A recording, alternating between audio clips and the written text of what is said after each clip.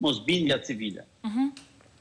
Sigurisht që pjesë e kësaj është dhe përballja jonë në Parlament, duke bërë të pamundur seancat normale të Parlamentit. Pavarësisht tentativave të disa deputetëve për ta normalizuar sot debatin parlamentar, ne arritëm përsëri që të vinim në pah disfunksionin e Parlamentit. Po kjo ka katër seanca që ndodh.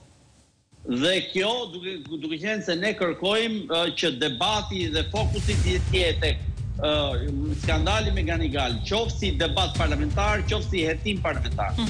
Edi Rama, Edi Rama rri i heshtur dhe është praktikisht duke treguar që e ndjen veten thellësisht të zhytur në këtë batak.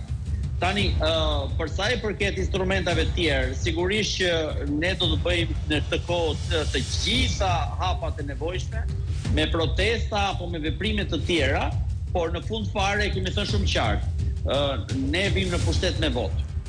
Një nga përpjekjet kryesore që po bëjmë është që ne të futemi në zgjedhjet e katërmbëdhjetë majit, në mënyrë që të fillojmë të çmontojmë këtë kontroll monolitik.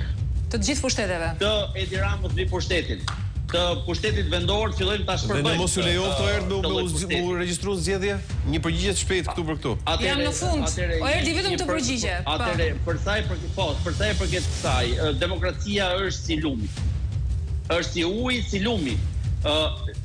Duhet ta lësh në shtratin e vet që janë procedurat demokratike dhe zgjedhjet. Çdo lloj pengese që i ve përpara, lumi del jashtë shtratit dhe merr përpara çfarë vjen.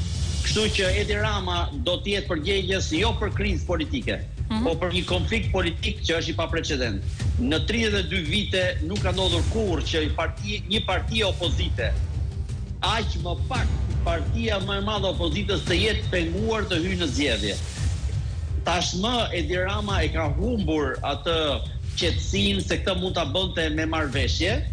Historira të shtatëmbëdhjetë majit në mbrëmje etj nuk ka më. Ne nuk tërhiqemi as nga mandatet, as nga zgjedhjet dhe ta provojë kushdo që të pengojë Partinë Demokratike ose ta zëvendësojë ose t'ia anullojë të drejtën e votës. Jam i sigurt që kjo s'do të ndodhë, me tre mars gjykata do të kuptojë që njëmbëdhjetë dhjetori